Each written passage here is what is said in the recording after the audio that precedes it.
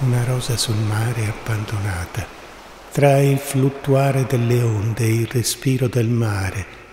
leggermente increspato,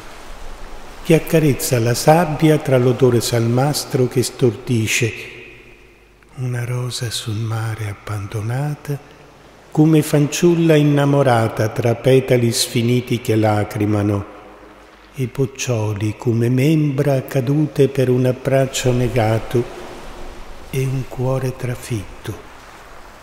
distrutto per la fine di un amore.